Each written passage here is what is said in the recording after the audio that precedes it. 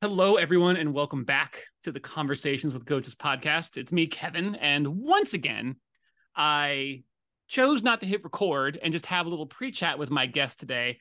And of course, the conversation got started immediately and went to so many interesting places. And so we're just going to include you here in a moment. I have with me today Stephen Webster, who you've probably heard before. And if you haven't, head on back in the archives, check out his episode. It was a fantastic conversation that went that, that that threatened to go quite long, and I imagine this one will as well. I'll do my best to keep it short and sweet. But first, let me reintroduce you to Stephen.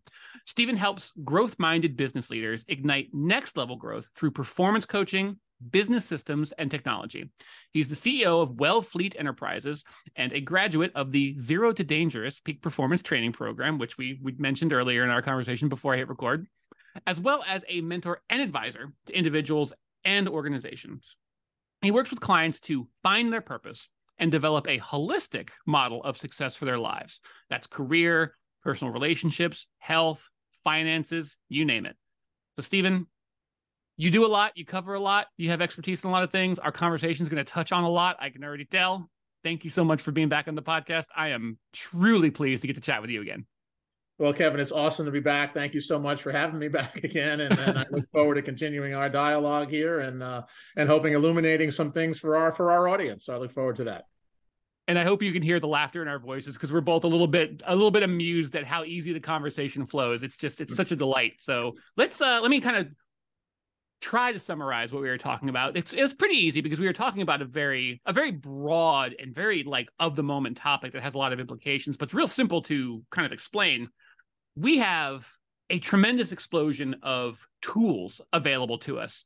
Um, we kind of started talking about AI and how that's really taken off in the in the content generation. You have things like we were talking about, like Chat GPT is obviously the flavor of the moment, and that's just continuing to evolve with the ability to prompt an AI to give you just tremendous amounts of very well phrased, well phrased, and well sourced information. Um, we didn't even touch. We haven't even touched on yet the uh, the image generation AI, like Stable Diffusion and Midjourney and all the stuff out there is going there. And then the implications of what might be coming from video generation. There's all sorts of tools out there just in that little subset that we were talking about. So obviously all of you who are listening are probably heady at the potential of all of these powers that are basically coming online at your disposal to play with and explore and to grow with. So let's pick up the conversation there. What what tools, what new tools, or even like maybe even older tools that are like a year or two old that you just really love that are evolving? What are the tools that you are most interested in, fascinated by, excited about um, as we kick 2023 off? Yeah, well, the one right now, and you touched on it, right, is the, the Chat GPT is certainly dominating the headlines, right, because yes. of the incredible implications that it has. So, as a performance coach, you know, part of me feels like I've hired my first employee because all of a sudden I have like this really smart guy sitting next to me who I can really answer ask any question to, and I can get a pretty thoughtful and smart answer from. So, from an exploration standpoint, just spending a little bit of time with the tool. Um, I don't know if you saw the Ryan Reynolds uh, uh, video that he wrote, uh, that he actually had on LinkedIn about Chat GPT, hmm. where he had it create an, a commercial for him, and he gave it very specific things like I want a curse word. I want it to be from Ryan Reynolds. I want this and I want that. And it was for his wireless service, and I'm missing the the wireless service. I think it's Mint. Is it Mint Mobile? I think it's yeah, Mint Mobile. So, and he had, you know, one of his usual unique uh, videos that he puts up there. And at the end of it, he's like, it's really scary, isn't it? Or some, he had some tune like that because it kind of nailed everything that he did. And I think what you, you're finding is folks are learning now how to have a conversation with AI in a way to yield the best result. So I mm. think a lot of folks right now are in that very, very early stages of experimentation that says, okay, how do I best talk to this partner, bot, robot thing uh, in order to have the best possible engagement with it so that I can learn, I can understand how I might be able to apply that to my business.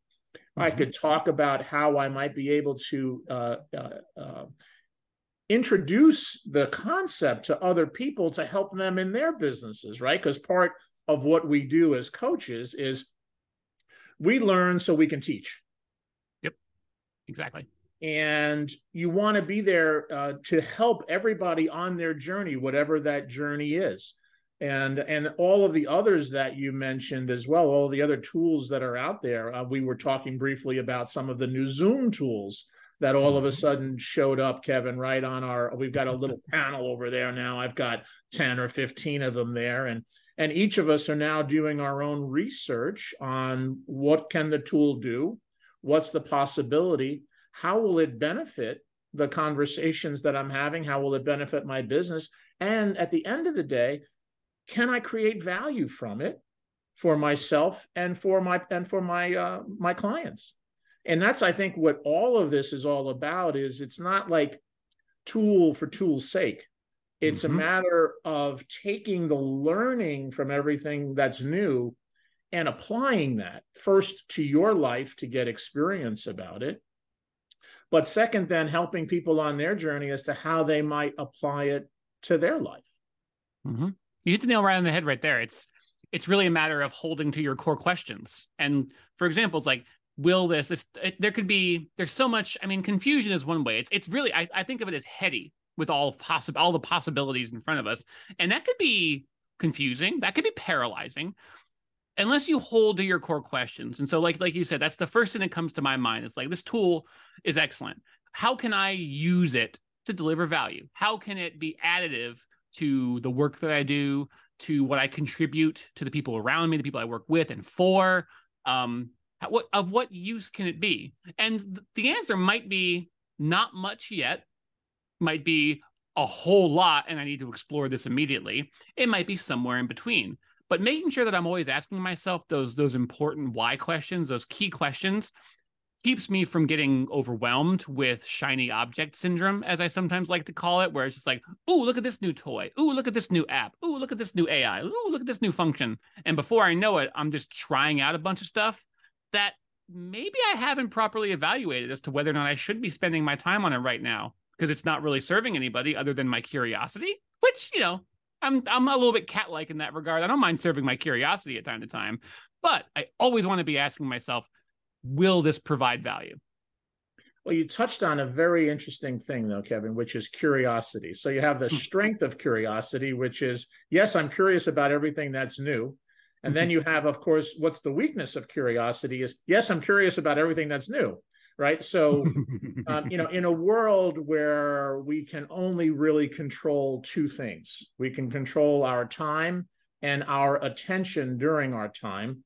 Mm-hmm. For folks that are very curious creatures, what we really do is we end up compromising that attention model a bit because we do get distracted by things you know and and the human aspect of it is that we get fed a little dopamine and we like that and then we get fed a little bit more dopamine and we like that so we kind of have this dopamine drip going on in our life that that that distracts us from the things that are important right mm-hmm. and one of the things that is really i find challenging and i'm sure a lot of folks do too is when you need to learn something new your attention takes you away from your level of expertise. So on the mm-hmm. sort of the learn do continuum, when mm-hmm. when it becomes a skill and you're just doing it, then it becomes a real. It becomes sort of uh, a velo- you know has a lot of velocity in your life, right? It becomes embedded.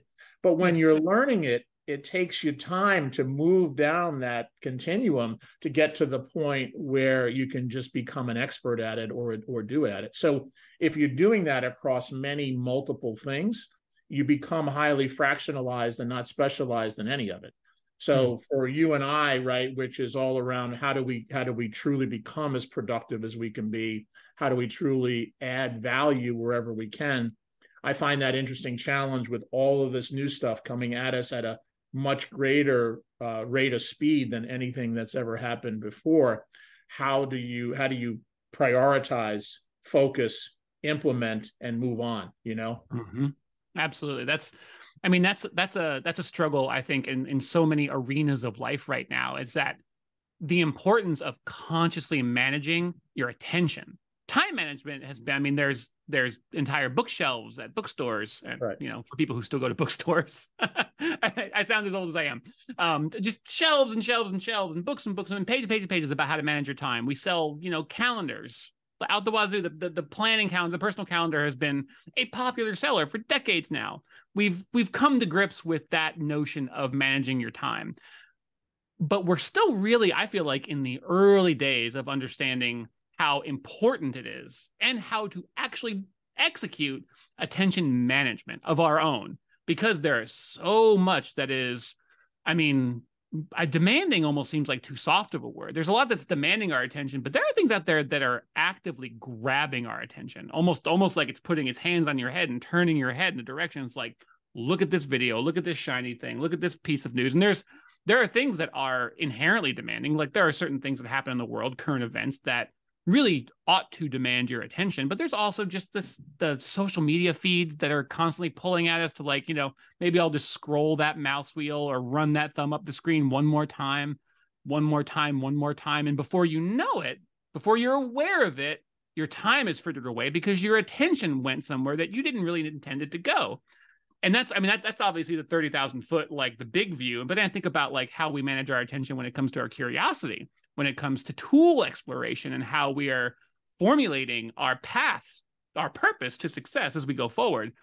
And you look at all these things, it's I feel like it's such it's such an important subject to explore very actively, managing our attention and making sure that when we're learning something, we're investing the appropriate amount of time in learning something and reserving the appropriate amount of time and attention for working in our expertise, working within our grooves, within our sweet spot, so to speak. You know, I think was it the last time we talked that you used the term "grip it and rip it"? Mm-hmm. That's what. yes, I, I did. Okay, yeah. good. I did remember that right. Okay, yes. So I remember that because that, that, that's the one I've had in the back of my head as like a sports fan for a while, where it's just like sometimes you just have to swing away, and it got me thinking about the sweet spot on a baseball bat to where mm-hmm. when you hit the sweet spot, it makes like this perfect sound. Ball flies. It just it just takes off. It feels a certain kind of way in your hand. It's just something about it. They call it the sweet spot for a reason. And I think about that in terms of the uh the um the expertise and the attention that I give to my expertise and how important it is to dedicate time to that zone of my of my of my professional life, my personal life as well you have to spend some time in your sweet spot and also make sure that I've reserved the right amount of time for that curiosity pursuit, that exploration, that, you know, that swing and a miss that will teach me how to hit the sweet spot in this new realm going forward in some way that's going to add up to delivering value to myself, to the people around me, the people I serve.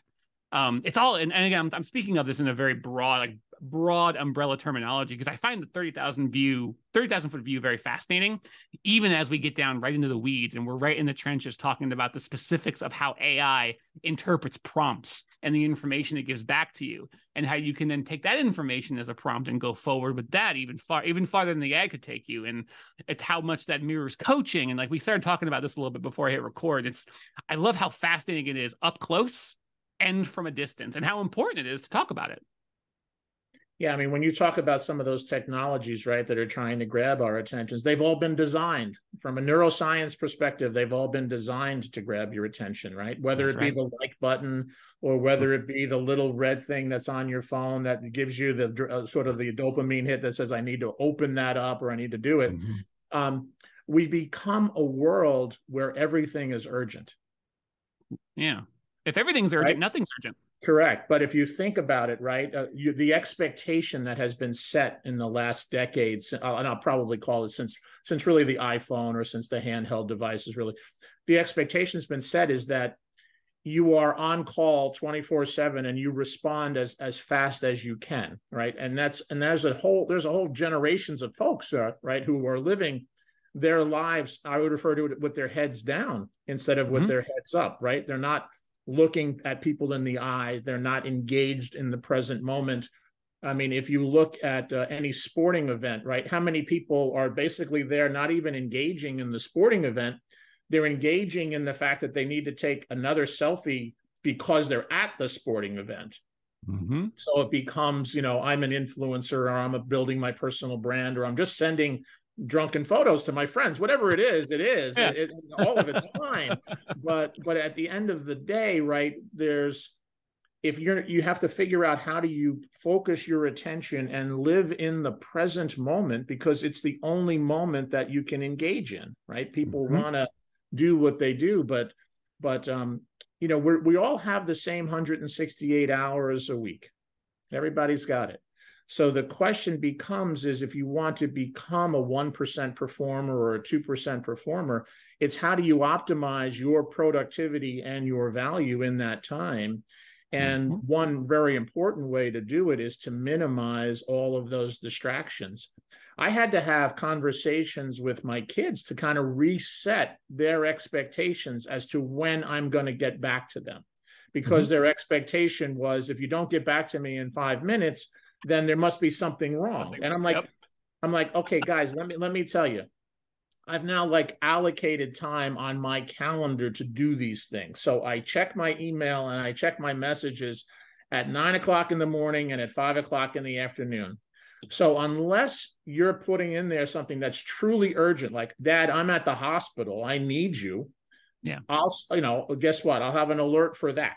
But mm-hmm for most other things, which is, oh, Dad, you know, I'm in the process of uh, of uh, researching a new stereo system. Can you help me with that? Or, Dad, my, uh, my I got a flat tire. Do you know where to send? You know, things like hmm. that, like are not are not urgent, guys, and you just need to recognize the fact that Dad's probably not going to respond to that. But it's a complete reset for mm-hmm. for for many of them. You know what I mean? It's complete reset.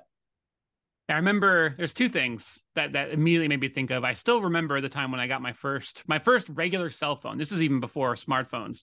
I had held off on getting a cell phone for a while, just uh, probably out of stubbornness. I've I was, I was I've been a stubborn old man since I was a teenager. I feel like sometimes, but be that as it may, I, I kind of was was a later adopter to cell phones and to be having having that kind of personal communication technology on me at all times. And I remember telling people when I first got it I still remember this. I, I probably sounded like a complete a hole when I said this, but it's still, but it, but it came from a genuine location of value. I was like, this is for my convenience, not for yours. So if you call me or text me or reach out to me and I don't immediately get back to you, I'm probably just in the middle of something. I will get back to you. I will see it, presumably. I mean, obviously, network errors aside, but this is for my convenience, not for yours. And people took that to varying degrees even back in like the early 2000s when i did get my first my first cell phone. Uh, like i said a little bit of a late adopter. But i've kind of evolved and held to that as i move through my life. And i do have to actively set boundaries with people. And by boundaries i don't just mean places where people can't go. It's more like skin where it's like these are places that they protect me in certain ways and they they're permeable in others and allow you to pass through. And i'm going to let you know what they are like I'm not going to be living in my inbox. I'm not going to be living in my social media DMs. I'm not going to be responding to texts every 5 minutes. I have times that I invest to like focus on these sorts of things. If I don't get back to you, I don't hate you or or nothing's going wrong. And yeah, I also make sure to get people outs like where it's people who are important to me. It's like, "Hey, put this in your message if it's super duper urgent or if it's really urgent make sure to, re- to call this number. This is one i will i will treat with alacrity when i see it.